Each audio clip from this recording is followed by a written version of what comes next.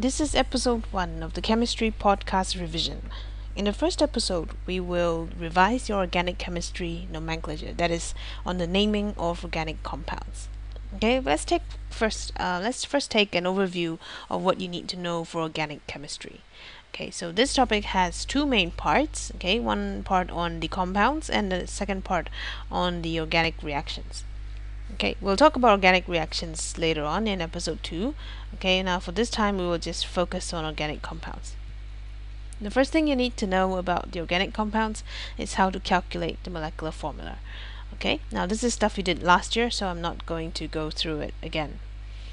So the stuff that you did this year include how to draw chemical structures, how to name the compounds, and how to identify the isomers. Okay, now you may be wondering, you know, how difficult or what kind of structures would I be required to draw? Okay, do I need to draw really complicated things, you know, like this guy, or maybe this one, and, and use these shorthand drawings? Well, the answer is you don't have to draw anything so complicated. We only expect you to draw simple organic compounds. What? This is simple, isn't it? Okay, it really helps if you can count up to four at least. Okay, um, if you can know the number of bonds that are attached to each type of atom. So carbon has four bonds, nitrogen has three bonds, oxygen has two, hydrogen and the halogens, that is fluorine, chlorine, bromine, okay, and so on, and iodine has one bond. Okay, I hope that's not too difficult to remember. If you have the number of bonds correct, your structure will be correct. It has to be. Okay?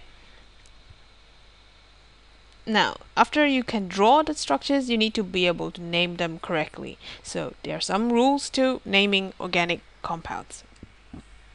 Now, every organic compound name has three parts. The first part is the family name, or rather, the end of the name is the family name. Okay, so that is your homologous series names.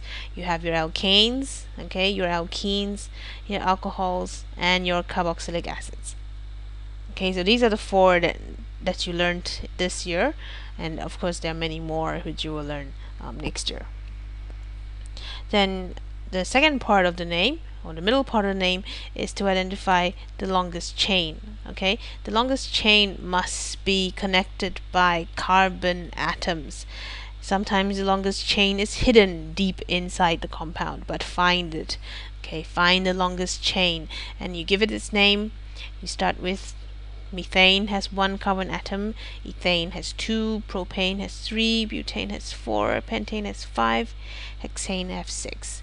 Now you have to know at least up to six carbon atoms long, but it would be much better if you could learn up to ten. Okay, decane, which is ten.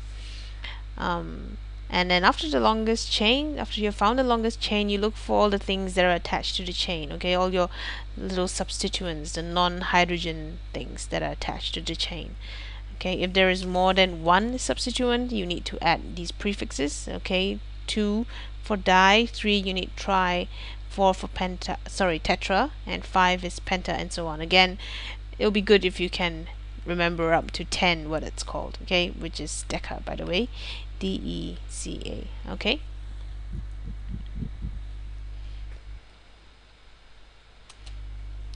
Now, if you have more than one family inside the organic compound, okay, more than one functional group, then always uh, have the carboxylic acid at carbon number one.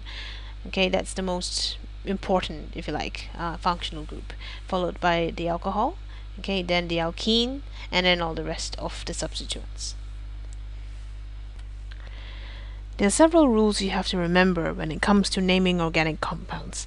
Okay, the first one is to name the substituents in alphabetical order.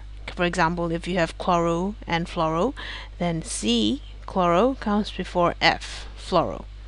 Okay, the second rule is to number the carbon atoms so that the name has the smallest numbers. Okay, the smallest numbers. And when you're writing the name out, Remember a dash goes between a number and an alphabet. Okay, and a comma is placed only between numbers. Now that means if you put a dash where a dash doesn't belong, I will mark you wrong. Now, if you put spaces where spaces don't belong, I will tend to ignore that. Okay, just for your information. So let's try a little exercise where you see if you can spot a mistake in these names.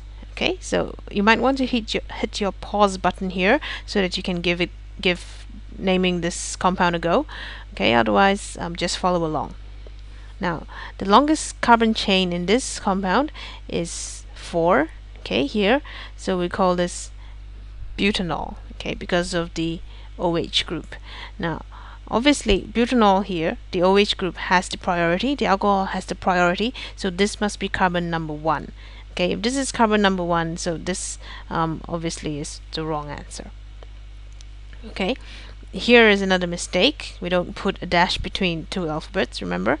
Okay now if this is carbon number one then this is carbon number two and 3 and 4 okay which means that the chloro group is actually on carbon number 2 so this is also wrong and the methyl group is on carbon number 3 okay so um, what about this one? What's wrong with this name?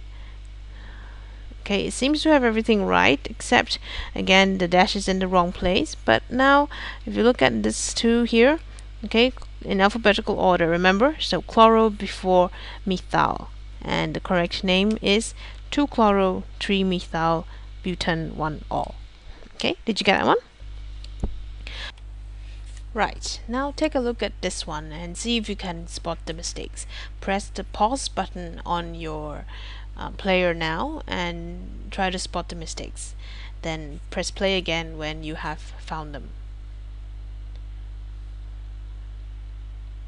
Okay, so where are the mistakes? first of all, um, in, in the first case, this one is wrong in alphabetical order, okay, because the, the bromo B should come before chloro C, which is before methyl. So this is wrong in alphabetical order, but this one is correct, okay? Um, secondly, you have all your dashes in the wrong places. This is wrong as well. It should be a comma, so that is correct. Okay, and thirdly, the numbering is wrong okay you should number the carbon atoms from this side so you have your substituents on carbon number 2 and number 3 okay so the correct name is 3 bromo 2 3 dichloro 2 methyl pentane. Okay did you get that one? Next we come to identifying isomers. Okay now isomers are really easy when it's structural isomers. So you're looking for something that has the same molecular formula but a different structural formula. Okay so this is the example that was in the previous slide. Okay all you need to do to find isomers of this compound is to rearrange the uh, substituents. Okay for example if you move this over here and you put the bromine there and you move the chlorine into here and you move this over there and so on and so forth okay? If you can name them differently then they are different compounds okay? I'm not gonna go through any more than that.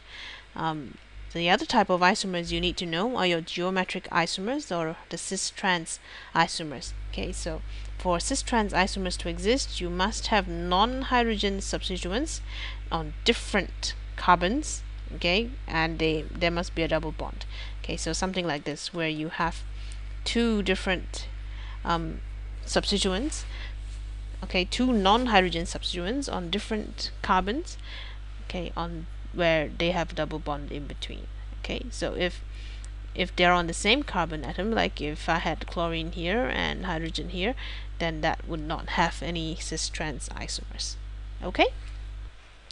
So I think that brings us to the end of this episode. Okay, next episode we will talk about organic reactions.